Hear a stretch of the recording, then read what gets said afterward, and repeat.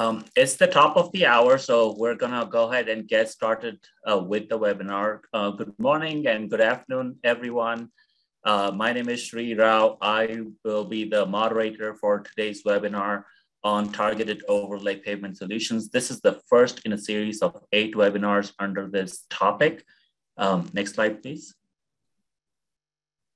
Um, just so for, uh, for those one or two people who haven't used Zoom who, who are on this call, uh, uh, the features are very similar to what you've seen before. Uh, this to ask a question, um, and it's just better that uh, we don't talk over each other. So please mute your microphones. Uh, and if you're going to ask a question, please type that in the chat pod. I'm going to monitor the chat pod, and you can do so by clicking on the chat function uh, on the bottom of your Zoom screen, and we will address the uh, uh, the questions that you have during the Q&A session at the end of the webinar. Um, next slide, please. Um, uh, some of the features of Zoom are you can just uh, move your mouse uh, onto the and click on the participants portion of the ribbon you see on the bottom to uh, look at all the participants who are participating in the webinar. if you have any reactions, you can click on the reactions button or you can raise your hand also by clicking on the reactions button. Uh, but we we are going to try to just use the chat uh, portion of the uh, webinar rather than um, um, talk. Uh, if you have any technical issues or experience any technical difficulties, um, use the chat function again and direct message Monica Dobel, who's the host of the webinar, and she'll try to resolve that. If you have um, any other problems, even getting into um, into this session or something like that, you can also email Monica, email Monica at monica.dobel at verestatinc.com or also eric.schulman at verestat-inc.com and they will try to help you uh, through any troubles that you may have connecting. Uh, next slide, please. So just to give you an overview of today's webinar, uh, there's going to be an introduction to EDC6 TOPS and Tim Aschenbrenner from Federal Highway will do that uh, introduction. Uh, there'll be a quick overview of high performance thin overlays. Uh, and then Robert Wright from New Jersey DOT will, uh, will talk about his experience with high performance thin overlay in New Jersey. Uh, following that, we'll do a crack attenuating mixture overview. And Ashwaq Mohammed from the Houston district within Texas DOT will uh, talk about her experience with crack attenuating mixtures and uh, thin overlay mixtures, TOM in Houston. And then we'll follow that with a Q&A. Um, so just to get started with the webinar, the first portion of the webinar will be an introduction to Everyday Six Counts Targeted Overlay Pavement Solutions. Again, as I mentioned, this is the first in a series of eight webinars. Um, and to present that is Tim Aschenbrenner from Federal Highway. He's a senior asphalt engineer uh, on the pavement materials team at Federal Highway Office of Headquarters, uh, head, Federal Highway Headquarters Office of Infrastructure. Uh, he's worked and experience focused on asphalt materials and recycled materials and quality assurance for uh, decades now. He joined Federal Highway in 2012 after working with Colorado DOT for 22 years. Uh, he's also the chair of uh, the TRB Committee on Quality Assurance Management, uh, which is a 2022 Blue Ribbon Committee. And, um, and I also wanted to mention he received uh, Federal Highway Administrator's 2019 Award for Superior Achievement and is a lifetime member of the Association of Asphalt Paving Technologists. Tim? Okay, well, thank you, Shri. Um, yeah, for our Everyday Counts program, uh, I'm leading the asphalt side and I'm being assisted by Derek Nener-Plante from our Resource Center. And we also include concrete pavements as well. And my coworker, Sam Tyson, he's leading the concrete side, and he's being assisted by Bob Conway of the Resource Center. So TOPS, Targeted Overlay Pavement Solutions, was selected for this round of everyday counts. We're up to round six. Uh, this started back in uh, 2011 and 2012 with EDC 1. You probably might recall warm mix asphalt and safety edge. but those have now evolved to everyday counts six. There's seven initiatives, of which TOPS is one. And so overlays, targeted overlays, were selected, I think, because it's very important to agencies. In fact, over 25% of all state DOT funds go to overlays, and it makes a lot of sense because there's so many miles that agencies have to manage.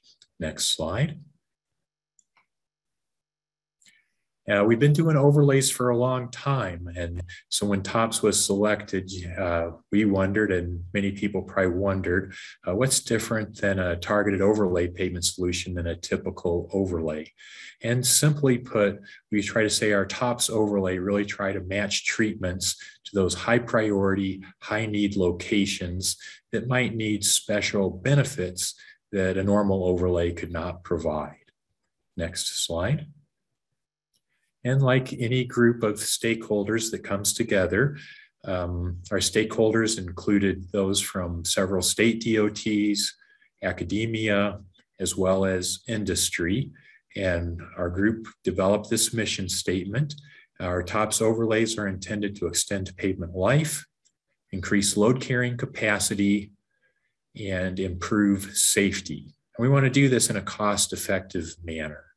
I say cost effective because many of these treatments have higher initial cost, but when you look at the overall life cycle cost analysis of that pavement, uh, our lead states have shown clearly that these treatments are cost effective. Next slide. And the goals uh, within EDC 6, uh, which also apply to the other initiatives outside of the targeted overlay pavement solutions is to increase the number of participating agencies that demonstrate, which means to do a pilot project, assess, which means to evaluate a series of pilot projects, or institutionalize, which means it becomes part of their standard day to day practice for the overlay solution that that agency selected. So really we're trying to advance states in terms of the implementation process to get them to use it as a standard. And in doing that, uh, we try to build awareness and expand usage by identifying champions, uh, share information at conferences and workshops. We'll have workshops available on a state by state basis and also training uh, with such as webinars like we're doing now. Next slide. So on the asphalt side of things, we have eight products. Uh, these eight products are proven uh, because we have several lead states, but oftentimes they are underutilized. There's opportunities for more states to try to advance these. We'll learn about the HEPTO, the high performance thin overlay, and the CAM, the crack attenuating mixture today. Uh, future webinars will have uh, some of the others, such as the highly modified asphalt. I should mention the four on the bottom, uh, stone matrix asphalt, asphalt rubber gap graded, open graded friction course, and the ultra thin bonded wearing course. Those are some oldies but goodies. Those are certainly proven in many states. They're not underutilized, but our stakeholders thought there could be opportunities to expand the use of those in some other states. And we have seen several states select these to move forward with implementation. Next slide. And Concrete uh, has four products. We'll be having the webinars alternate between asphalt and concrete. And so there'll be four webinars on concrete as part of this series. Next slide. With so many TOPS products, it can get overwhelming. How do you select which one might be best for you? So our approach is to think of the highway network you have, what concerns do you have, what issues you're trying to deal with, and you're probably looking for a particular product with certain benefits to address those issues. And those benefits could be safety, improved performance, retaining investments, cost savings, or environmental issues like sound or drainage or splashback. So based on the needs you have, uh, each one of the TOPS products has been assigned certain benefits to help make it easier for you to decide. And with that, I think I'll turn it back over to you, Shri, as the moderator. All right. Thank you very much, Tim. Um, the first topic uh, today is going to be high performance thin overlay. Uh, and the way we're going to do this is we're going to have a presentation from one of our team members uh, before uh, there will be a presentation from New Jersey DOT on this. So our team member who's going to present is Kiran Mohanraj, uh, who is a project manager at the Transtech Group. Uh, he received his master's degree from Arizona State University and is a registered professional engineer in California, Minnesota, and Texas. Uh, he's been doing this for a long time, for over 15 years. He's been worked extensively in both the design and construction uh, of pavements and paving materials. Uh, and, and specifically in California and Texas, he has a lot of experience uh, with uh, with these type of overlay mixtures uh, working directly uh, on site with state DOTs uh, on both the construction and preservation sites. So Kiran, take that, take it over, please. Thank you, Steve, for that introduction and greetings to everyone. Um, it's a pleasure to be uh, presenting the very first product of the asphalt overlays as part of uh, EDC6 TOPS program. Um, and this presentation basically is going to give the, the uh, goal of this presentation is to give you an overview, uh, including some of the history and benefits of high performance thin overlays. And then if you're an agency trying to consider this uh, uh, for implementation, uh, what are the considerations that you would need to give during the design and the planning stage? Uh, we're going to look at some of those things. And then, uh, as well as if you're a contractor trying to um, provide a, a, an excellent product to your customers, what kind of uh, things you need to be aware of during the production and construction stage of the project. Uh, and we're going to look at some of, some of those aspects as well. And uh, one, one of the things that we noticed while we were doing research on this product was that contractors as well as state DOT um, personnel um, call high performance thin overlays uh, uh, as HEPTO as well. So uh, you're going to see that myself and the next presenter are going to use this uh, interchangeably. So uh, the thin overlays have been around um, for a while now. We know that uh, people have been using uh, thin overlays for quite a few decades um, in across the United States as well as in the world. So what makes high performance thin overlay a different product from the regular thin overlays? And you'll notice that it's the performance requirements, performance test requirements that have been included in the specifications that uh, makes these overlays uh, really high performance, truly high performance. So HEPTO is generally um, it's a fine aggregate mixture with polymer modified asphalt in it. And in, in this presentation, you're going to see basically two states. We've, we've studied two states that use um, um, thin overlays that qualify as high performance thin overlays. And uh, one of them is New Jersey, and the other is uh, Texas. And New Jersey calls their product as HEPTO, uh, while Texas is uh, Texas's version is called um, um, TOM, which stands for thin overlay mixtures. Next slide, please.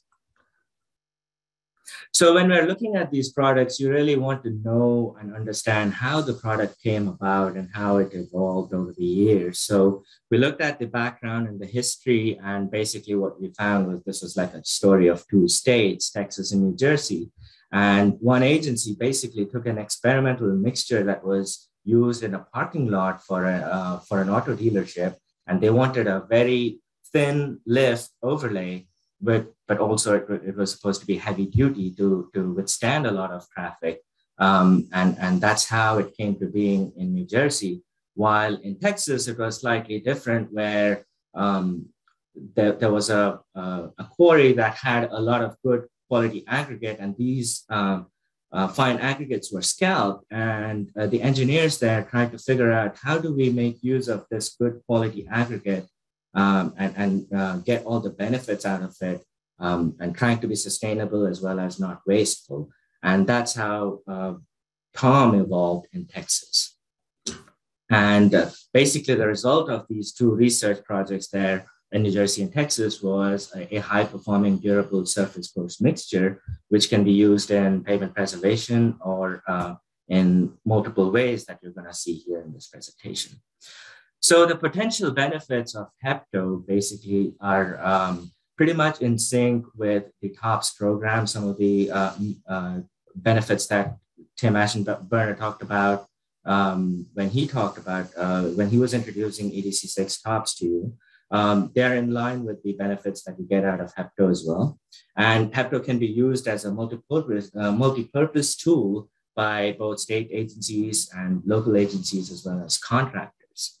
Um, some of the things that you'll see notice is that uh, the benefits could be similar to that of a thin overlay, but uh, one of the mission of EDC6 TOPS is to extend your pavement life, and Hepto has been very um, successful in doing so, which you're going to see uh, or uh, hear from the next presenter. Um, also, one of the things is that uh, you have to take these benefits on a case by case basis. Uh, for example, the ride quality improvement um, it is kind of subjective because it's a thin overlay mixture. You cannot expect the ride quality to be improved solely by applying Hepto. So there, are, there is some additional work that needs to be done if you have to really reap all the benefits that are shown on this slide. Um, so yeah, the main thing is not to forget that um, the treatment has to be at the right time on the, at the right location. Next slide, please. So now that we looked at the background and benefits and history of Hepto, let's take a quick look at uh, the consideration one needs to give during the design and planning stage of uh, a high performance thin overlay application. So the project selection criteria, uh, it really depends on uh, the agency. If you're a state agency, you might have a criteria, or if you're a local agency, you might have some, something else that you might be looking at. So again, following the EDC6 TOPS team, um, you have to look at your high priority and, and your high need. Where do you need this really? And uh, agencies um, typically see um, uh, the roadways that have a lot of high traffic. They cannot afford uh, long closures and they cannot be intervening too many times. Uh, such such roadways are good candidates. However, uh, when you're picking them as a candidate, you also have to look at the timing of it. And that's where your pavement evaluation comes into play.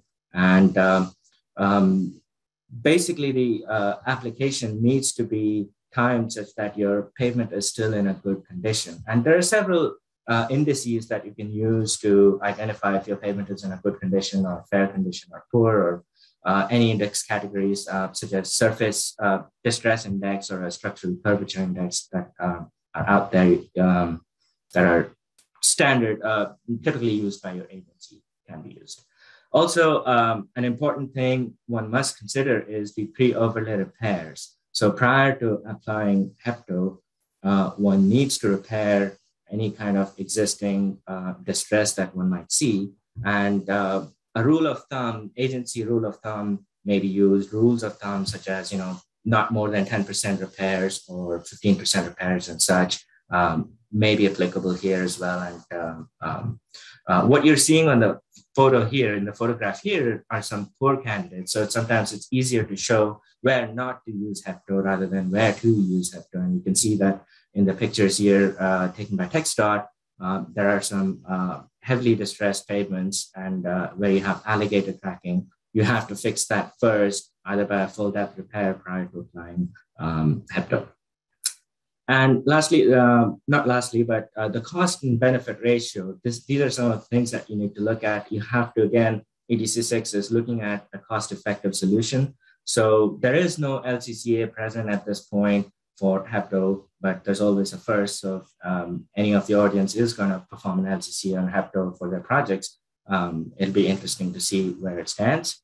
Um, and some other considerations such as environmental or application uh, uh, urban areas, um, Hepto could be suitable. And that is another thing that one needs to consider during the design and planning stage. Next slide, please. So now looking at the materials and mixtures. So this is where you understand how Hepto works and how it looks. And you can see there's a side-by-side -side comparison of the gradation, and we're going to talk about it in a second here. But um, the first thing you need for your high performance thin overlay mixture is your aggregates. So make sure that any material that's used in this product is a good quality product or a good quality material because this is going to be on your surface. This is your best mix, and your it's, it's it's important from an aesthetic standpoint. Everybody's going to be looking at your surface next year, So uh, make sure the aggregates are crushed aggregates, good quality aggregates, and the binder is a polymer modified asphalt binder. And it's ideal to source it locally, trying to promote sustainability here. Um, so again, another theme that EDC 6 follows. Um, in terms of recycled materials, it's uh, suggested that recycled material not be used and can be used in somewhere else in your pavement structure, but not for your surface mixture. Um, some of the common additives that we're seeing to be used in uh, Hepto is a warm mix additive or a liquid, uh, liquid anti-strip to um, address any kind of moisture susceptibility issues uh, that there might be for the mixture. In terms of mixture design, again, this is a local agency or the agency preference in terms of what the mixture design has followed um, locally so that uh, it doesn't that there are no conflicts in terms of uh, and, and the ease of implementation is uh, helped with uh, using um, a known design procedure. Um, and you're going to see that in terms of specifications on the next slide where um, there's a snapshot of the specifications because of limited time we're not able to go too deep into the specifications but here you can see um, like a highlight of the difference between uh, specifications, part of the specifications uh, included by two agencies. Uh, pretty much standard mixed design requirements, um, similar to those of other HMA products. However, the most important thing to notice here, and we cannot emphasize enough, is that the performance requirements for the mixture, that is the most important thing. Um, and also you can notice that uh, the agencies, uh, that the performance test itself can be an agency preference. As long as the agency and the contractors um, are comfortable with the performance test, um, that can be adopted. And also uh, something you can see that they, um, these are finer mixtures, therefore, you know, it has high asphalt content. And you can see, um, if you recall from the previous slide, that the TxDOT uh, gradation was slightly um, coarser than that of, uh, and there's a typo there, it should be a TOM C and not a TOM F. Um, the, the TxDOT gradation is slightly coarser, so it takes a little uh, less asphalt than this one. But again, the most important thing here is the performance requirements. Next slide, please. Now coming to the production and construction practices uh, and, and uh, what needs to be um, kept in mind. Again, uh, in any thin overlay mixture, some of the things that uh, you have to keep in mind are similar to that for Hepto as well. Same same um, standards need to be practiced. The materials need to be uh, free of contaminants, and uh, general standard care during production um, is uh, required. Um, one of the things one must uh, think about is that this is a very fine mixture. So when you're producing it in the plant, uh, you might have just two bins or three bins if you're using additional aggregates. Um, However, plant balance is something that your plant operators must be uh, aware of while using this. Um, in terms of surface preparation, you have to clean your surface. However, the important thing here would be a tack coat application. So a good tap, tack coat application, uh, trying to inspect it, and also uh, if there are any, uh, um, including requirements for a bond strength of your overlay is going to see you're you're going to see that your pavement life is extended further. Uh, also, the uh, you can see that there's a shuttle buggy or a material transfer vehicle on the picture that's being shown right now during uh, construction. That's important to make sure your thin overlay is not losing temperature and you're achieving the compaction and the density um, to provide the to reap the benefits of your high performance thin overlay. Um, uh, during the research of this product, another thing that we were made aware of uh, by the contractors is that test strips, test strips before construction really helped them out a lot to understand their mixture and how it behaves under the roller as well as during placement. So um, if you're looking for some success using Hepto, you're gonna uh, just stay tuned. Um, Robert Blight from New Jersey DOT is gonna present his case studies. And also there are some uh, publications that are gonna be coming through EDC6 TOPS program, um, which talk more about high performance thin overlays. Thank you. Uh, thank you, Karen, um, very much. That was, uh, thank you for the great introduction to Hepto.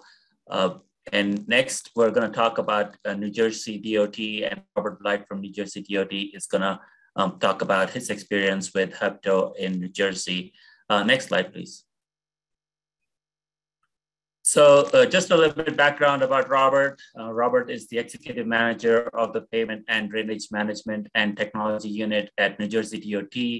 Uh, he, re he received his bachelor's in civil engineering from Rutgers in New Jersey and has been working at New Jersey DOT for over 25 years in pavement engineering, pavement management, materials, geotechnical engineering, construction, uh, pretty much uh, name it. And uh, Robert has done that for New Jersey DOT. So uh, we're really uh, glad to have Robert presenting New Jersey DOT's perspective on HEPTO and uh, why they think HEPTO is a great tool in their tool belt for pavement preservation and overlays. Robert? Thanks, Sri. good afternoon, everyone. I'm Robert Blight. I'm going to present a little bit on Hep Hepto, which is high performance thin overlay. Next slide, please.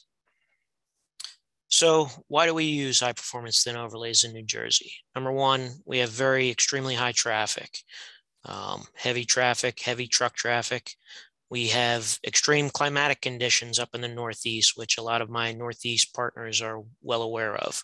Uh, we also have a lot of older infrastructure that's crumbling that we're trying to hold together. Um, so high performance thin overlays and tools like this in our toolbox are absolutely necessary uh, to extend the life of our pavements as best we can. Next slide, please. So what is high performance thin overlay? Well, we use it as a preservation mixture. Um, you know, our preservation program has ramped up over the past several years. Uh, it's a one inch thick uh, overlay um, with a nominal maximum aggregate size material, 3 8 maximum, uh, polymer modified asphalt binder. Uh, it has a modified superpave volumetric design requirement. And then uh, the modification is we have uh, performance tests, APA rut test requirement and Texas crack overlay test requirement. Next slide, please. So our high performance thin overlay has to meet these performance requirements in the Texas overlay crack tester. We require a minimum of 600 uh, or more cycles uh, before cracking occurs in the overlay tester. In the APA rut, uh, we require the material to not rut more than four millimeters in the APA rut. Next slide, please. So this is our process uh, that we go through when a job is awarded. There's a mixture design process that's uh, similar to most mixtures, but with the added uh, test strips and performance requirements. So the supplier is required to do a volumetric super pave mix design. Once that passes, it goes to verifying that the performance test requirements are met. If it passes that, goes on to the next test strip uh, section. If it fails, it goes back to volumetric mix design and a redesign of the mixture to get past the performance testing and the volumetrics. Once you go to test strip, again, the material has to be run through the plant and a test strip done and performance testing verifying that uh, that you know the performance tests are met as well as the volumetrics and the test strip. Uh, once we go to production, um, you know, you, you got another test strip on site and then during production, samples are taking, taken for quality control and quality acceptance. Um, the performance tests are done again during production at a certain interval. And if the material is not meeting, then a pay adjustment is made to that material. Next slide, please. So uh, the pay adjustment part of it.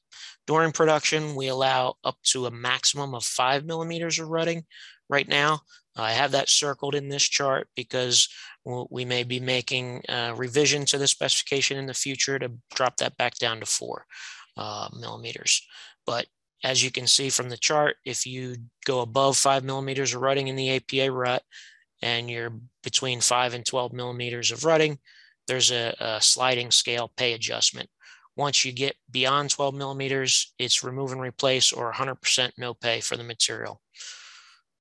And then the overlay tester, again, 600 minimum cycles in the overlay tester.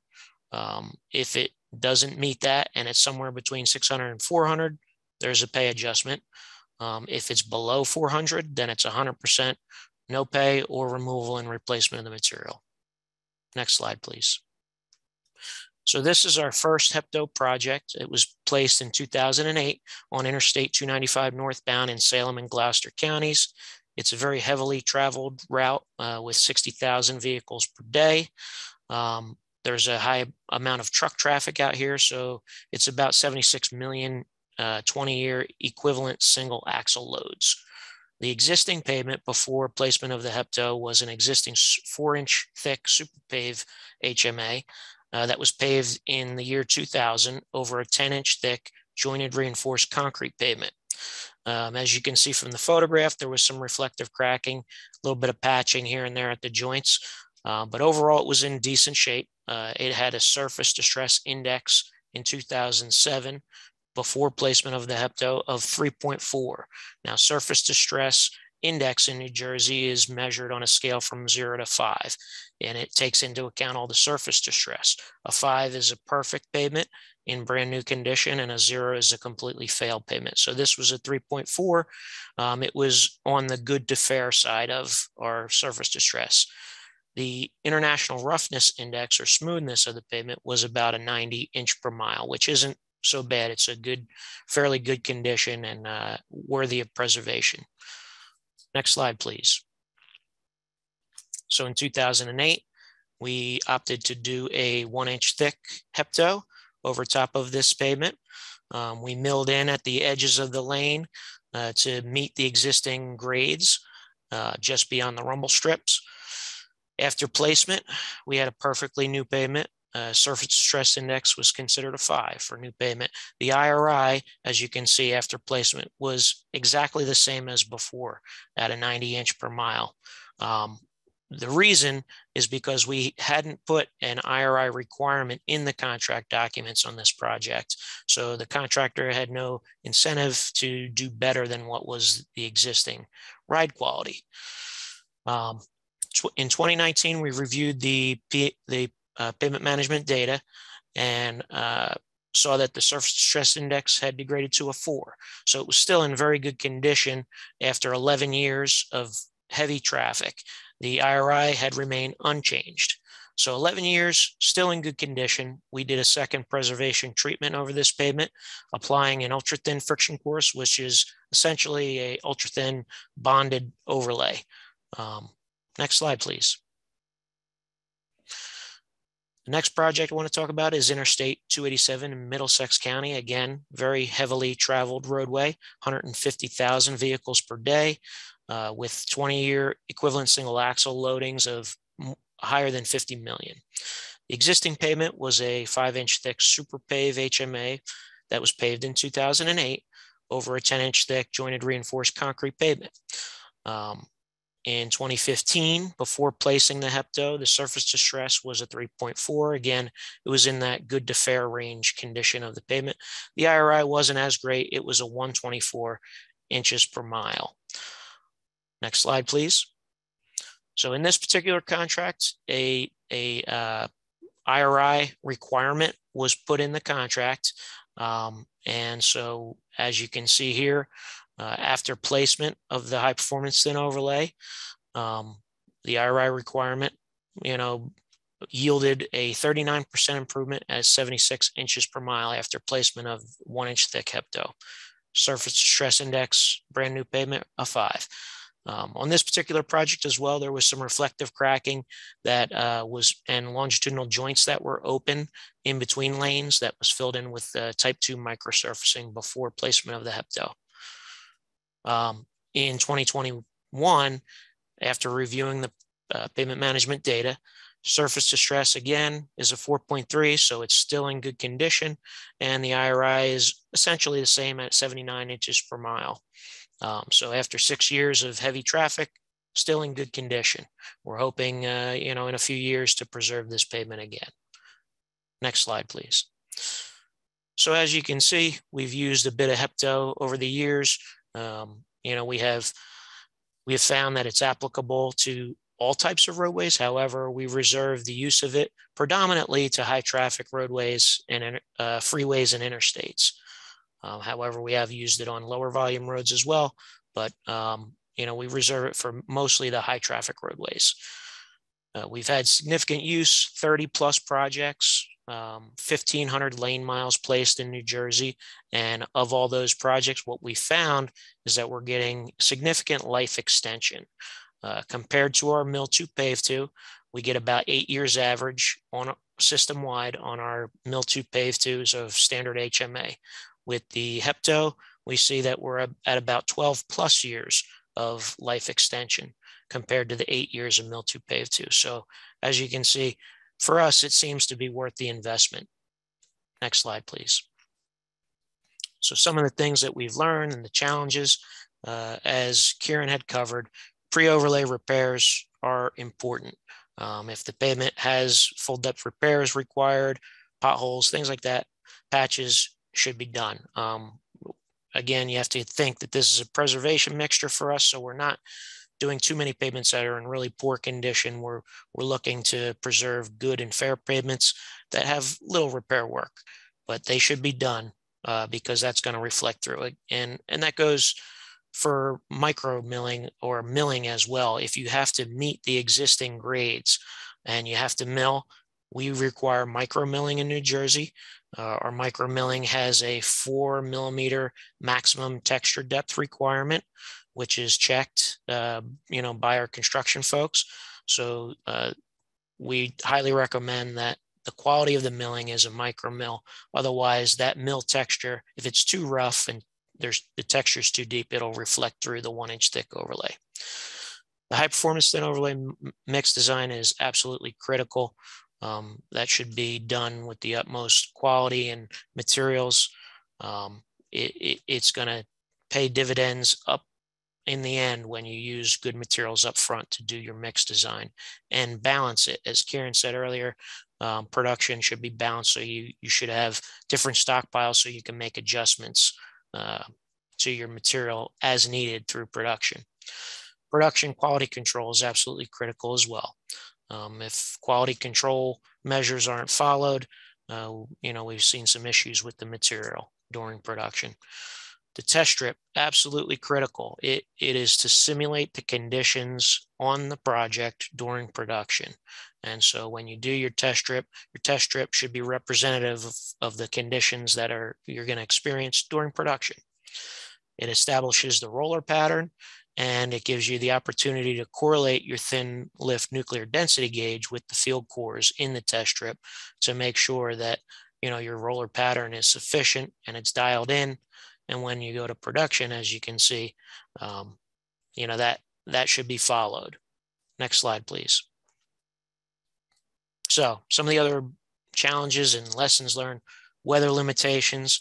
Um, this is a thin material. Uh, if, if you've played around with the software, uh, PaveCool, you can see the thick, how the thickness and temperature affect the material. This is only going down one inch thick. So the base temperature has to be above 50 degrees. Um, we have a 50 degree minimum temperature requirement for base temperature in our specification. The pavement should be dry, no moisture, no precipitation. Um, we have seen some blistering on some projects, and uh, that is due to moisture left on the pavement um, or within the milling, uh, whatever the case may be. Good quality control, good dry surface in good condition, good temperatures are a must. Um, the surface should be clean and dry. One of the things we require is a vacuum sweeper. It, it should be enforced that, that that surface is cleaned properly prior to placement. Next slide, please. Again, proper quality control during pavement, um, proper use of the thin lift nuclear density gauge. There has to be an adjustment usually for your QC people because they're used to measuring densities with the nuke gauge on a thicker material for the one inch, if it's not done properly, they might be getting uh, densities below this material. So it's only one inch thick. That adjustment has to be made with the, the thin lift nuke density gauge to make sure they're getting the density of the right material. Following the roller patterns, again, you establish it during the test strip, you follow it during production. If something changes, a new test strip should be done or adjustments need to be made so that we're still getting quality compaction, quality smoothness. eliminate the use of diesels or other distillates for cleaning paving equipment during production. Um, we've seen this reflect right through a thin overlay and uh, it, it really ruins a good product. So um, this is something that should be strictly enforced. And again, dialing in your paving operation so that you have the proper number of trucks to supply the paver and the material transfer vehicle, and everything is running at a consistent, continuous, smooth, steady pace throughout production uh, with very little stops and starts. This is going to result in a much better product at the end of the project. Next slide, please. So what could go wrong? The photo on the left was a project in New Jersey uh, where the contractor supplier did a test strip. They thought they had it dialed in during production. I don't know what went wrong, but they didn't follow their roller patterns. Um, and they ended up having to, they over compacted the material after it had been cooled off. And in doing so, had debonded it from the layer below. Um, and so when the traffic hit this within a couple of months, you could see the shoving and the movement of the hepto material in the wheel path on this slight curve in the left photograph. When we went and did a forensic investigation, it was clear to see that the material was moving and it wasn't bonded well in these locations. Um, and you know, this is this is what can go wrong if things aren't done properly properly and proper quality control measures followed. On the left or on the right hand side, uh, another project, what had happened here is uh, there was uh, miles of interstate paved with Hepto uh, during production. It wasn't realized at the time, but a leak in the drum mixer with the diesel fuel had gotten into the mixture and got into the, the lanes on the project. Uh, within two years, we had uh, significant rutting and shoving for about two miles on the project. Um, and as you can see from the cores taken, the core on the, the left side, uh, it, that was the, the, the shoving, the humped up hepto material outside the wheel path, just outside on the skip line. In the center, the core in the center was the wheel path. Essentially, all the hepto had been moved out of the wheel path and to the outside of the wheel path because of this uh, diesel contamination in the mixture. In, and the core on the right side, um, that was the center of the lane and it the hepto thickness had essentially remained unchanged in the center of the lane. Very interesting, but you know, contamination of diesel, a big problem um, on these types of materials that should be watched and strictly enforced, you know, to, and it just so happened that in the APA rut testing during production, this phenomenon was picked up in the APA, APA rut. We had about 10 or 12 millimeters of rutting. However, the materials inspection staff at the time weren't sure they, they weren't as familiar with the testing. They they thought maybe hey maybe our test is wrong. Let's leave it in place and see what happens. Well this is what happened. So the test was right. The material was bad. And that's one thing we learned. So that's what can go wrong sometimes. Next slide please what can go right? Um, in 2020, the New Jersey Asphalt Paving Association Awards awarded the Interstate 287 northbound HEPTO project. Uh, they had paved HEPTO on this heavily traveled interstate, and the resultant project was a 47% improvement in the International Roughness Index. So, and, and this seems to be the case on many of our projects that we get a great improvement in IRI. And uh, a great product out of this. Next slide, please. So what we found over the years of using this as one of our tools in our toolbox is that Hepto works very well for New Jersey. Uh, we've significantly increased our good payments and have made a significant decrease in our poor payments. So we're very happy with this material and this product. Next slide, please. And that's all I have. Thank you very much. All right. Well, thank you very much, Robert. Some really good information on the couple of projects that you talked about and some of the do's and don'ts. Um, there are a few questions, but we'll wait to um, address those questions at the end of the webinar to, just to make sure uh, the other presenters have enough time for their presentation. Uh, I also wanted to mention to the participants, uh, as part of the Everyday Six uh, Target Overlay Pavement Solutions uh, uh, effort with Federal Highway, there are several documents that are being prepared on HEPTO. there are some case study reports and on New Jersey DOT's HEPTO specifically, and a how-to document on HEPTO as well. Uh, these are in the in various stages of the production uh, and uh, and approval stages. And uh, so uh, look out for these as they uh, are released by Federal Highway in the future. Um, next slide, please. So the next portion of the presentation is going to be on crack attenuating mixtures. Uh, and again, as we did with HEPTO, uh, a member of our team uh, will be presenting some background information and that will be Amanda Gilliland from who's a project manager also at the Transtech Group.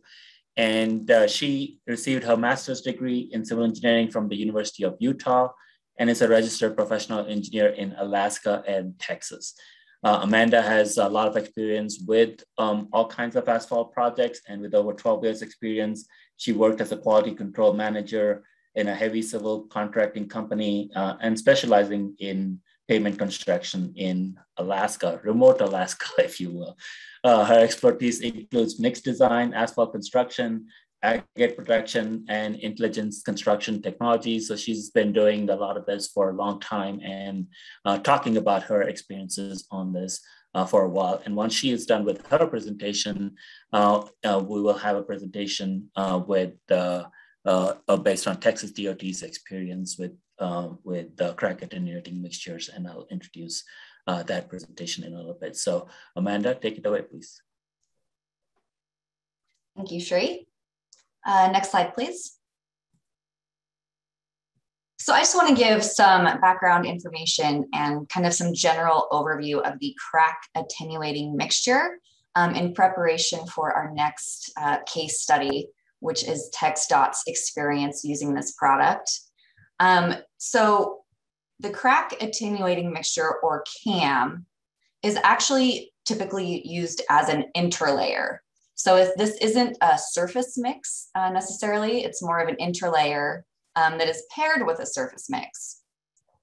And you know, as the name suggests, the idea is to prevent reflective cracking um, in your overlay. Um, there, the CAM mix has a pretty fine gradation. So a nominal maximum aggregate size, typically between a number four or three eighths inch sieve. Um, there's typically a pretty high asphalt content. Um, so I have on here typically around seven. Um, it may be a little more, a little less, but kind of averages around seven. Um, and then the other key characteristic is, of course, the performance testing. So very similar to the HEPTO performance testing, um, it's performance tested for crack mitigation resistance and for rut resistance. And I'll um, describe those tests in the, the next few slides. Um, it also uses polymer modified asphalt and high quality aggregates. Um, TxDOT does not use RAP in these mixes, so um, these are virgin mixes. Um, and you can kind of see these are sounding very similar to the hepto mixes. Um, there are a lot of similarities in these kind of high performance mixes. Um, so I'll, I'll, highlight some of those uh, similarities and then also some of the unique differences with CAM. And before we move on, I did want to mention there are a few other uh, CAM terminologies out there. So different states are also using um, uh, crack attenuating products, um, and they may call them something a little differently. So here's a few examples on here. Um, so for example, New Jersey DOT has something similar, but they call it the BRIC, which is the binder rich intermediate course. Uh, Nevada DOT's been doing some CAM products, but they call theirs the engineered stress relief course. Um, and then there's some other terms um, that maybe are used as well um, in the industry or in research. So crack relief interlayer, fracture tolerant, shear resistant, you know, anything like that. Um, maybe a, a, very similar product. Next slide, please. And so just a little bit of uh, the background uh, at TxDOT. Um, the original CAM mix design was inspired by a uh, another product This product was a proprietary crack relief interlayer product that came out in the 1990s. And TxDOT was doing some research on it and found that it was indeed quite crack resistant, um, but it didn't have very good rut resistance. So because it's an interlayer, a lot of the research TxDOT was doing kind of revealed that, you know, as an interlayer, the rut resistance wasn't necessarily an issue as long as that surface mix, you know, was about, you know, two to three inches in depth. And as long as there wasn't any staged, you know, staged construction that was going to open traffic on the CAM interlayer. So unfortunately, that's not very realistic. Um, as you know, everybody knows, you know, when you're constructing new new uh, overlays, or you know, you have a couple different overlays or lifts happening. Uh, it's very difficult to do it all at once and not have some sort of you know staged construction pattern. And so it was kind of, you know, not having any rut resistance wasn't very reasonable um, for TxDOT at the time. So TxDOT started to look at their own product that used, you know, local material sources and had the crack resistance, but also had that rut resistance. Around the same time, in another district, uh, there was another sort of uh, issue at the time um, where there was a, a large stockpile of really high quality fine aggregate piles so what was happening is contractors were creating, you know, a coarse aggregate product using really high quality aggregate, and the screenings left over um, weren't necessarily being used in these mixes. And so they had quite a surplus of these high quality fine aggregate piles. Um, and so, you know, they went to uh, Texas A&M Transportation Institute and said, hey, you know, what can we do with these high quality fine aggregate piles? Um, and so the TOM or the thin overlay mixture, uh, which Kiran introduced earlier in this webinar, um, was developed. And so you had the CAM product being developed and the TOM product being developed, and turns out they were actually very, very similar. So they both were, uh, you know, finer product. They were both being performance tested. They both had the crack and rut resistance properties. And so what happened um, is TxDOT kind of realized, hey, these products are very similar. Let's kind of merge them into one and just move forward um, with one product. So some districts still prefer to call this crack attenuating mixture CAM. So the CAM specification still exists at TxDOT. Some districts still use it and call it that.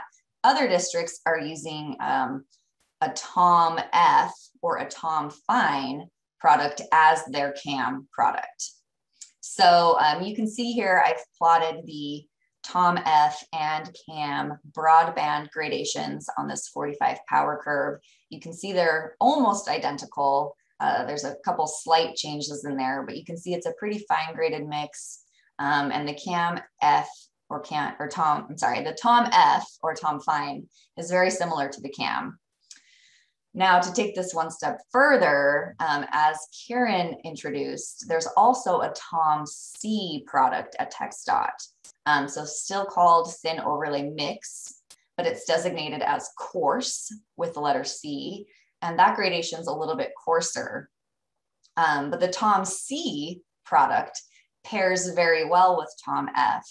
Um, so you'll see um, when Ashwak gives her presentation, um, Houston districts typically using a TOM F interlayer with a TOM C surface course. Uh, next slide, please. And so you can see here kind of the difference between the CAM interlayer product, which is shown on the bottom of this image, and then the TOM C, which is of course the coarser product as the surface lift. So you can kind of just see um, the difference in the, the gradation of void structure. Now the surface course is very important when you're designing a CAM interlayer. Um, some of TxDOT's research and other DOT's research as well has found that even when you have this, you know, crack resistant inter interlayer, if you're not pairing it with the right surface mix, you can actually have the cracks kind of jump through that interlayer and still show up in the surface. And so the surface mix that you pair with the CAM is very important. Um, so I mentioned TxDOT has found um, that the TOM C, which also, of course, has some crack attenuating properties, um, tends to pair very well with the CAM mixes. Um, other DOTs have found success with, you know, SMA mixes. Um, I believe New Jersey DOT has found some good success using a Hepto on uh, their BRIC CAM product. Um, and so the idea here is just to make sure you're not putting a very stiff surface mix on top of your, you know, very flexible CAM interlayer to avoid this kind of crack jumping phenomenon. Another really important thing to consider uh, designing and planning these products um, is just to make sure, of course, that there's a really good um, bond mechanism. So really good tack coat or um, kind of sealing layer that goes on um, with this mix, um, which I think Ashwak's going to talk about in her case study as well. And similar to the Hepto, it's important, um, these products are um, placed in thin lifts. So uh, in terms of you know project selection, um, really significant structural distresses need to be repaired um, before a CAM interlayer and overlay. Uh, next slide, please. So here's some more of the mix properties. Um, this table shows both the CAM specification as well as the TOM F specification. So just to recap, um, very similar products um, and a lot of the TxDOT districts are actually using the TOM F as a CAM product. So you can kind of see they're very similar. Um, and of course, the highlight on here is the performance testing requirements. So you can see the CAM requirement um, for the overlay tester uh, has to reach 750 cycles before failure. Now the standard TOM specification um, shows 300 cycles to failure.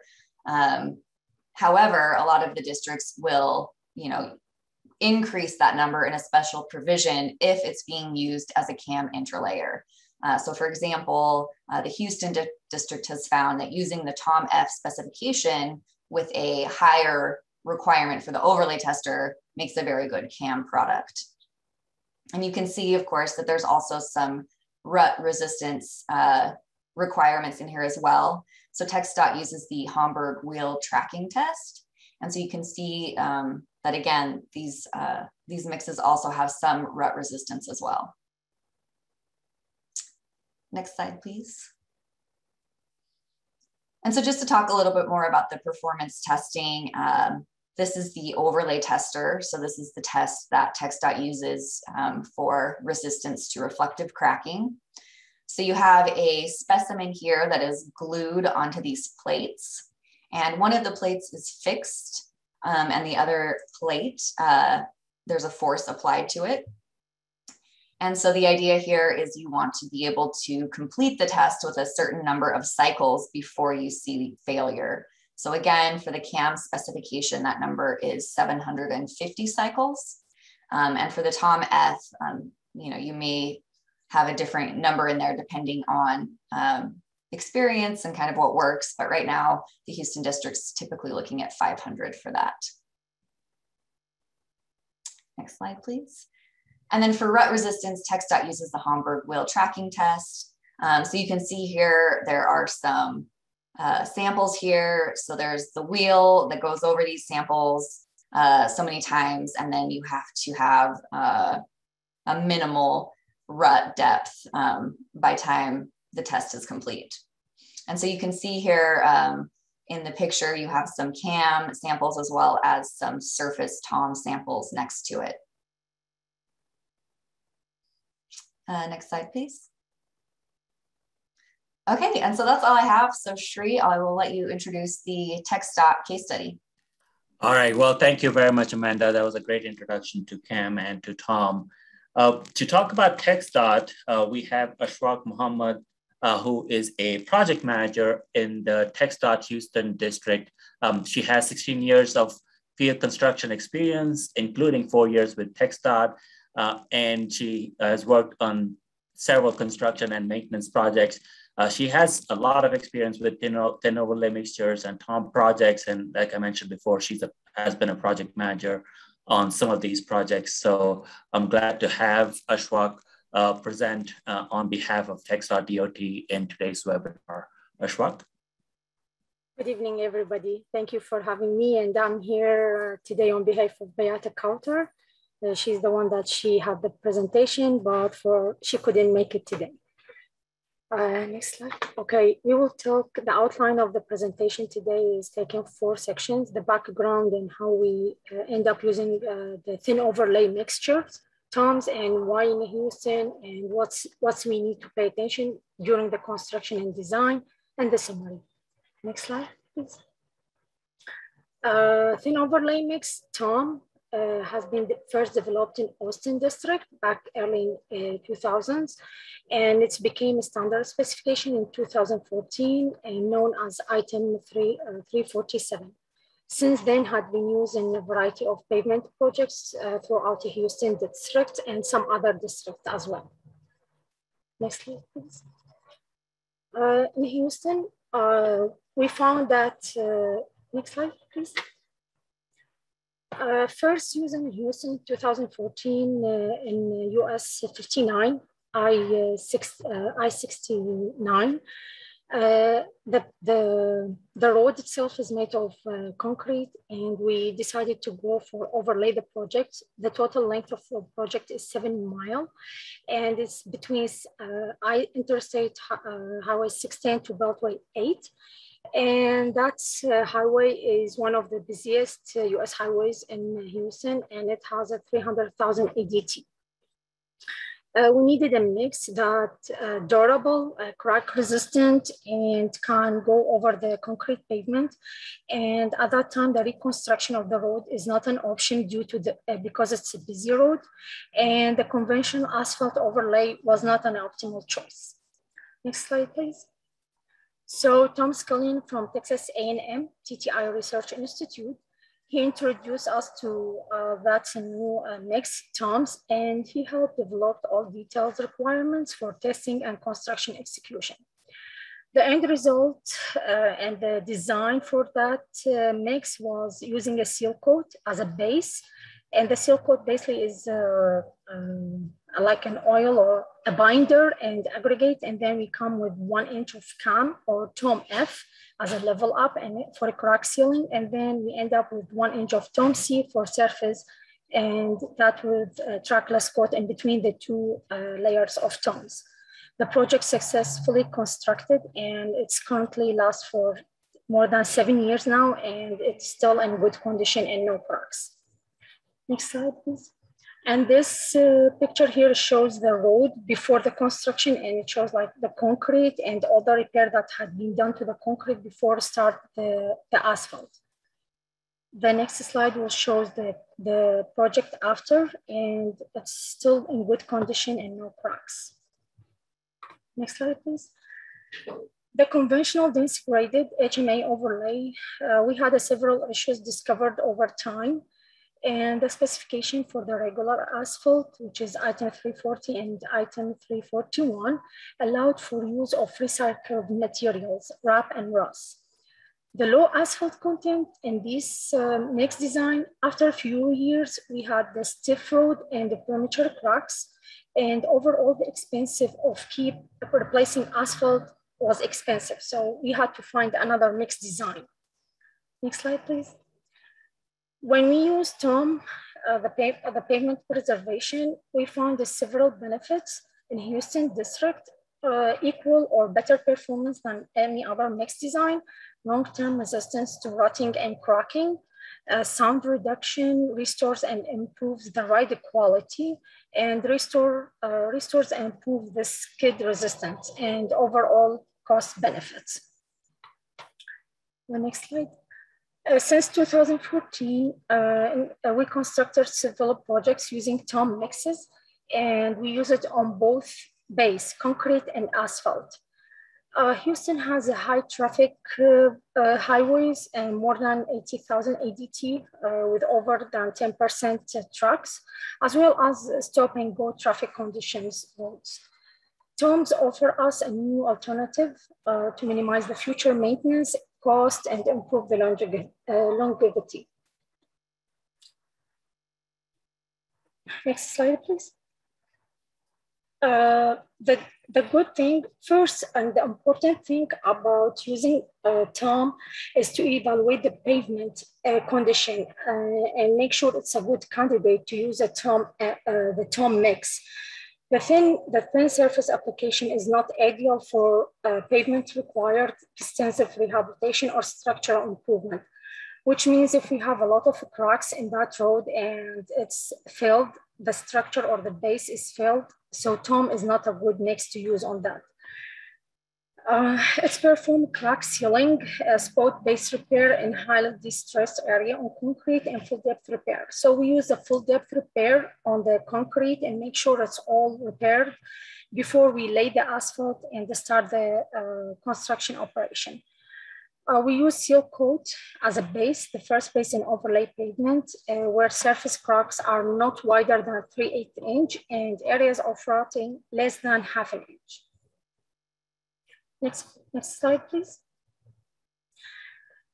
talking about the moisture because we cannot lay the asphalt on top of moisture. So in one of our biggest projects here in Houston, the contractor decided to use uh, these two machines that you see. The one to the right, it has an air jet and that's where he blow uh, just air on the surface to dry up the surface. And the second one to the left is a heat bar. So those two are used usually in the horse race and uh, where they need to dry up the, the soil. So he used the same method to dry up the road and it works very good. Uh, but that, like if you have just a less moisture, but not uh, after like a heavy rain or something, but like it's just a, a, little bit of rain or just a little moisture on the surface, those works very well. Next slide, please. So the surface must be clean and dry before the placement. Uh, dirt or dust is not good because that will cause bonding issues. And it's not uh, good to place TOM after rain when surface is saturated with moisture. Um, the TOM, uh, the TOM mixture should always be placed, uh, produced with a temperature more than 300 uh, Fahrenheit and placed at temperature of 70 because it's cooled down very quickly. The seal and bond is very important for the thin overlay uh, uh, to prevent the moisture infiltration and the failure.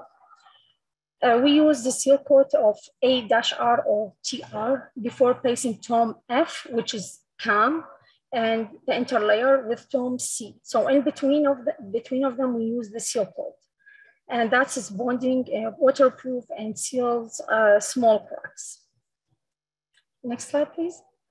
And that's like, you know, a closer look for, for the two machines that have been used. And again, this one to the right is the heat bar and that one to the left is the uh, air jet. Next slide, please. Uh, the compaction. Uh, use, uh, use of double steel wheel rollers working uh, in tandem is recommended and pneumatic tarred roller will have excessive asphalt uh, pickup. TOM's mixture cools quickly and is difficult to compact once temperature lose, once its temperature cools down. Uh, uh, water flow test recommended to ensure density and uh, impermeability. And that's uh, for, for both layers, for both like TOM C and TOM F. And we used uh, regular asphalt in areas where roller is unable to work. So because TOM, TOM mix cools very quickly, so in certain area like turn lanes or uh, small driveways, we we use a different mix type of asphalt. We didn't use TOM at all because it's need uh, in those small areas we need a, a, a, hand work, and TOM mix is not good when you use when you have a hand work. So you have to use an alternative mix design in that small or small areas that you have. Also, uh, make sure like to train field inspectors on execution of terms and provide construction guidelines to ensure the quality. Next slide, please. Uh, these two pictures from a project has been done. The one to the left shows like the existing layer here is uh, asphalt, and then we have the layer TOM F or CAM, and then we have TOM C, that's the surface.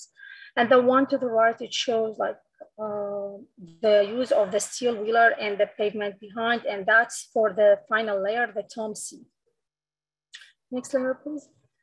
Uh, the one to the, uh, the picture to the right shows the final look for the project after it's completed. Uh, if you see the different in color, so the, the darker color, that's the new asphalt, and the the lighter color, which is the gray, that's a concrete. So in this area, we started uh, the concrete and asphalt. Next slide, please. The summary, uh, overall, the thin overlay mixture terms has been used on a variety of pavement projects uh, in Texas district. Uh, it's less expensive than conventional mix and it's long life uh, span and more durable and crack resistance because of the, of the mix of the two layers that we are using. And it's uh, better overall performance. And that's it. All right. Well, thank you very much, Ashwak. That was uh, really interesting. Uh, again, as uh, as I mentioned with the HEPTO, um, we are developing additional documents for CAM, uh, including some how-to documents and some case study reports. So those will be available from Federal Highway over the next several months once they go through the uh, publication process. Um, a special thanks to Ashwak, again, who stepped in at the very last minute. Uh, we had a different presenter, Beata, who actually quarter, Beata Quarter, who actually prepared the presentation, and Ashwak stepped in in the very last minute because Beata could not make it today uh, at the presentation. So really special thanks uh, to Ashwak for pinch hitting for Beata at the very last minute. Um, we do have some questions. If you want to go to the next slide, I believe it's just for Q&A. Again, if anybody has any questions for any of the uh, webinar presenters, uh, please type that in the chat session. Uh, we do have some questions, so I'm going to quickly go through them in the order that I um, received them. Uh, the, uh, the first question or more of a comment is from Wala who says, uh, it's critical to define the thickness um, and uh, in terms of the overlays. And I know specifically with the presentation we did today, uh, the presenters did talk about the thickness of the overlays and TOPS itself covers a, a wide range of overlays. Um, so I guess this uh, this question is a little bit broad, and I don't know if Tim, you want to answer that question, or uh, uh, and I know that if uh, um, if Robert or Amanda or Ashwak want to chime in in terms of the thickness.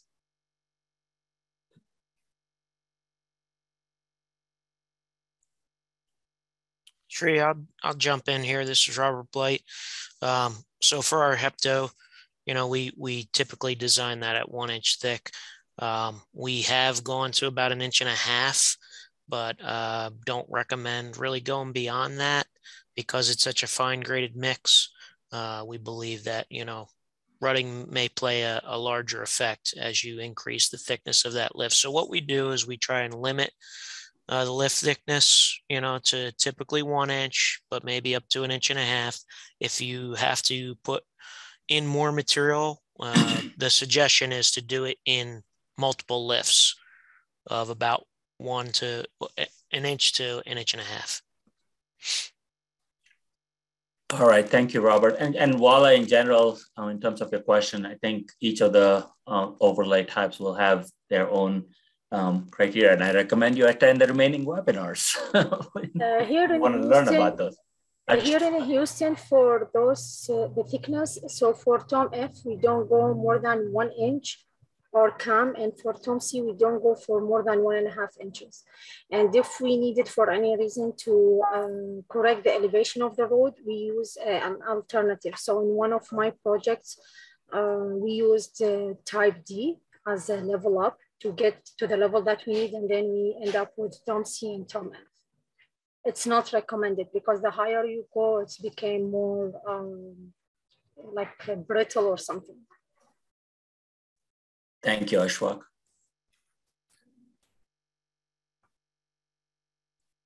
Tim, I see you unmuted yourself. Did you have anything you wanted to add? Um, no, nothing to add. I think uh, Robert and uh, Ashwak answered that question well, and thanks for sending in the question, Walla.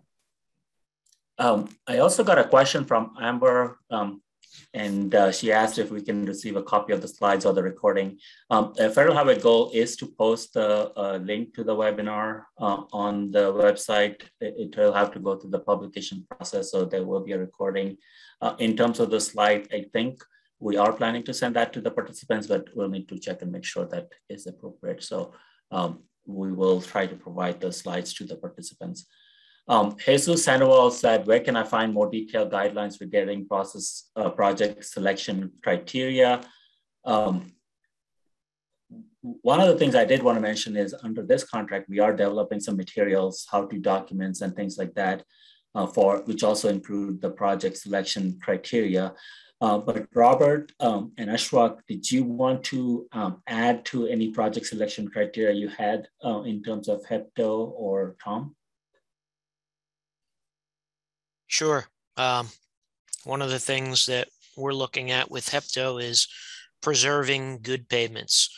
Um, so we have limits, you know, as far as how much cracking and rutting and uh, how smooth the, the road, is, the existing roadway is. Um, you know, if the pavement, if considering all those things, if we consider the pavement is in poor condition based on those indices, we may not uh, choose to do a preservation with hepto on those. But uh, yeah, we're we're in the process of developing um, our own documentation, uh, a New Jersey DOT pavement design manual as well, and we'll be assisting uh, with the EDC six TOPS efforts uh, to help Shri and his team uh, have documents available for the selection criteria that we use for HEPTO. Ashwak, is there anything you wanted to add to that? No, Robert uh, answered very well. He covered everything. Thank you, Robert. Yeah, All right. Yes, go ahead, Tim. Yeah, I would uh, let Jesus know that as part of our EDC effort of uh, promoting implementation within states, we do have some uh, technical assistance we offer. So uh, Jesus in Arizona there, if you are interested in using one of these and want to get a little bit more detail while we're getting these documents published, we can uh, reach out and provide some kind of one-on-one technical assistance to help you out to see if that's a good fit. And you just contact me and we can uh, take a look at that. Great point, Tim. Um, a question for Robert uh, from Kangwon Lee. Um, how did you choose asphalt binder 64E? And his question says, what does E stand for? So while we were developing the specification for HEPTO, um, we uh, worked in conjunction with Rutgers Asphalt Lab in New Jersey. Um, Rutgers University has an asphalt lab there where they can do all kinds of testing. Uh, Tom Bennert heads up that lab. Um, he had sampled materials from some of the uh, the main suppliers in the north, central, and south part of New Jersey, and he had done some work in the lab there, uh, using their materials, their aggregates, and using a standard polymer modified asphalt binder. Uh, basically, the 64E is a polymer modified asphalt binder in New Jersey. It used to be when we had the PG grading system, a PG 76 minus 22. Um, so PG 64E is just using the new MSCR test, but it's essentially a similar binder to the, the PG 76 minus 22. Um, and what he found when he was developed doing the, the, the laboratory work for the Hepto is that um, essentially, most suppliers could produce a hepto mix using the 64E or 76 minus 22 binder. Now, that doesn't mean that every producer can use that binder. Some may have to use uh, one with a little bump in polymer, uh, which we consider a Port 76, which the Port Authority uses on some of their polymer modified projects, uh, which has a little bit more polymer in it to help resist the rutting and the cracking. So every supplier is different. And although we don't we don't specify typically the 64E. It really, we have language in the specification that essentially says that the 64E may work. However, it has to pass the performance overlay crack test and the APA rut test.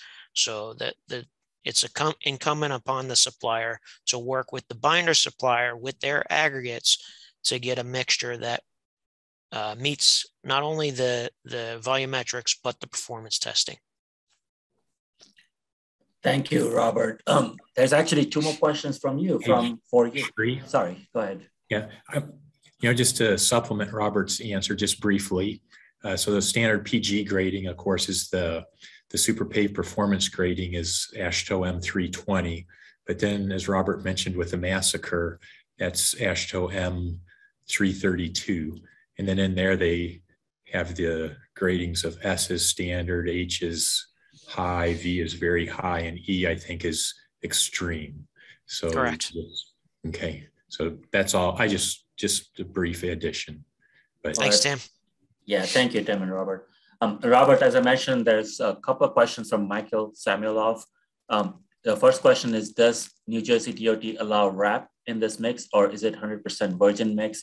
Uh, what tack coat is being used and is New Jersey DOT providing oversight guidance uh, in terms of uh, tack coat performance? Um, well, number one, we don't allow RAP. Uh, it's 100% virgin mixture. Um, and that's what we found is uh, when we allow suppliers to introduce RAP, um, the quality control of how much RAP is going at the, at the plant isn't watched close enough to ensure that the mixture is going to continue to meet during production. So we went with, because this is just a one inch thick, it's very critical to get high quality materials. We're, we're not allowing RAP. It's a virgin mixture. Uh, the tack coat is our standard uh, emulsified asphalt tack coat. Um, our tack coat specification allows a couple different types of standard tack coat uh, in New Jersey. Um, I can get you the information on that. We have used uh, CRS 1P, which is polymer modified, when we have placed Hepto with a spray paver.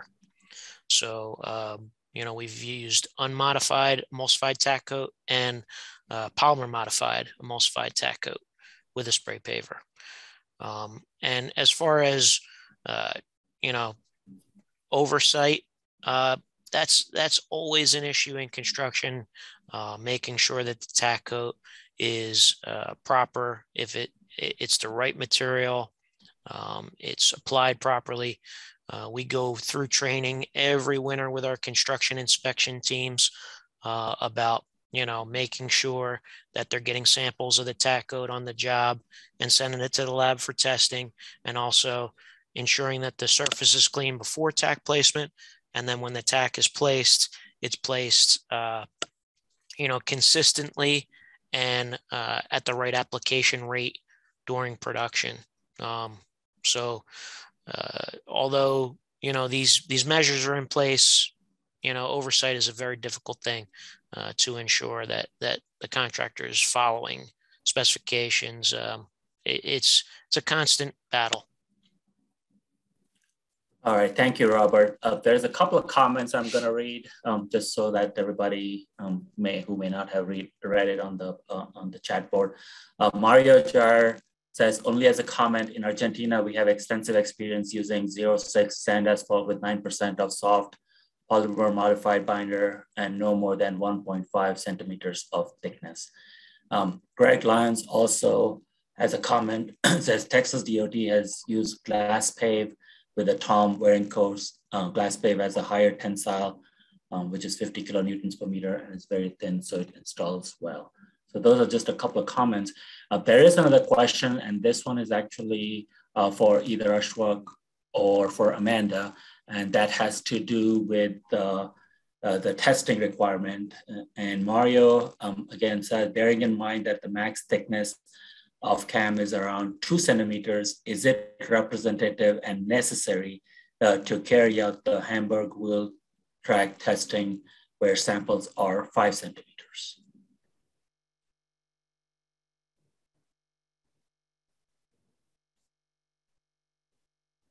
Amanda or Ashfaq, do you have any thoughts or comments on that, uh, on the Hamburg testing?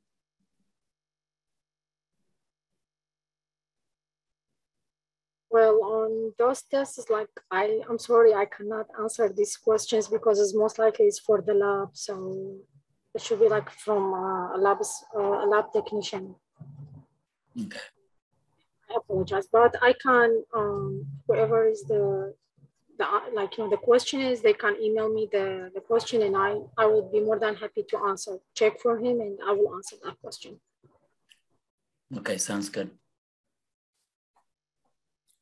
Yeah, Shri, I just might chime in, but, uh, but yeah, I know the uh, CAM's an inner layer but there have been there are a lot of cases out there where you can put a leveling course or an interlayer down there and it can end up being a weak layer. So when when you put that down you do want to make sure it's rut resistant. I think it's just a uh, oddity that the thickness on the pavement is less than the thickness in the the test but you do have to go through some type of rut testing to make sure it is rut re resistance you don't want to build a, a weak layer down there that's going to be, well, relatively close to the surface. Thank you, Tim, for that clarification. Um, there is another comment from Gary Fitts uh, who says Oklahoma DOT often uses a 1.5 inch thickness when specifying their rich intermediate layer, which is essentially the same as TxDOT's CAM mixture, but uses their HiMA binder specification, which is a PG76 uh, 28E. Um, Randy Lamar asks, um, this is, I think this may be the last question. Is there a PCI range for good measure uh, use of HIPTO? Not really clear what that means. So. I believe he's talking about pavement condition index. And in New Jersey, we're, we're not using PCI, but we're using SDI, surface distress index. Um, and, you know, for us, uh, uh, we're looking at targeting targeting probably above a 3.5, a 3.5 for SDI. Uh, we use SDI 0 to 5, uh, 5 being a new, 0 being a completely failed. We find that uh, when our SDI drops below 2.5, that we schedule those payments for resurfacing typically. Uh, above 2.5 to 3.5 is generally considered fair condition with regard to SDI and from 3.5 to 5 is considered good condition uh, with regard to SDI in New Jersey. Um, so, so we're typically targeting pavements uh, for preservation that are fair to good. So they may be, you know, right around 3.5 or they may be a little bit below or even above. So that's that's typically what we're doing in New Jersey. All right, thank you. Um, there isn't, uh, I guess we have time for one more question before we probably end this uh, webinar. Uh, Ibrahim asks, may you elaborate what is the impact of the type of surface mix that HEPTO and CAMP will be applied to? HEPTO is a surface mix, Ibrahim, so I'm not sure that this question applies to HEPTO. Uh, but in terms of CAM, um, I don't know if uh, Ashwak, you want to answer this. Uh, do you, um, are there any other types of surface mixes you use with the um, with the intermediate layer, um, SMA or other types of surface mixes that you use? Uh, no, we usually use TOM C. TOM C and TOM F because as Amanda uh, specified, they works very well and they works very good as far as crack resisting, rotting and everything. Using other materials could be temporary, but not like for long term because you will end up with the cracks, with, with rotting. Um, so that's the recommendation that's what that we have, and that's what works very well. And we've been using this since uh, 2014. All right, thank you, Ashwak. I, I, believe it's about time to wrap the webinar. I have a couple of slides. Um, next slide, please. So thank you everyone for uh, the presenters for presenting in today's webinar. Really great job um, describing your experiences with Hepto and CAM and TOM. Uh, thank you all the participants for attending today's webinar and for all your questions. And uh, we'll definitely will learn a lot from uh, the questions that uh, you have asked. Uh, there's eight webinars in this series, so please uh, um, look at your email and we'll be advertising these. Well, our goal is to have about one webinar every month. The next one on concrete overlays is going to be in January. And so we're trying to have uh, the, the, dates are, some of these are not scheduled yet, but uh, expect to have one of these every month. Uh, and then the third webinar will be on stone matrix asphalt and HiMA and, uh, and then alternating with concrete. Uh, and then webinar five will be ultra thin bonded wearing course and open graded friction course. And um, webinar seven on asphalt will be asphalt rubber gap graded and enhanced friction overlay. Um, and as I mentioned, uh, four, six, and eight will be on various concrete overlays. So, um, so that's the uh, webinar. And I believe that's our last slide. Um, please remember to sign up for EDC6 news um, and Innovator. If you haven't done so, you'll get a lot of uh, uh, links and information uh, when you sign for this. Uh, you can go to uh, fhwa.dot.gov innovation in order to sign up. Again, thank you everyone for attending the webinar and really it's been my pleasure to uh, moderate this webinar. Thank you. Okay, thanks everybody. Thank you. Have a great day. Thank you. Have a great day, everybody.